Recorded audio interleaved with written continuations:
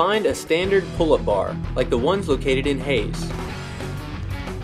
Jump to a dead hang, utilizing a pronated grip with your palms facing away, and ensure your feet cannot touch the ground. Flex your body to a raised tuck, and then lower to a near dead hang.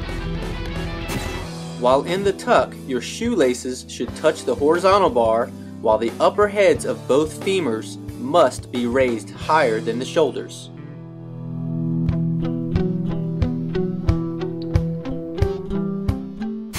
Repetitions will not count if the hips remain below the shoulders. Your arms may be bent or remain straight during the flex to tuck.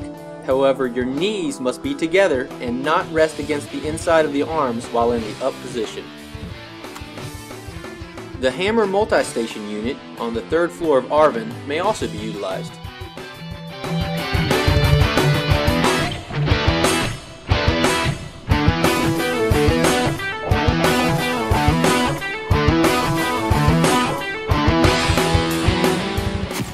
Here, a modified grip is authorized with palms facing away or facing in, while maintaining the same movement standards.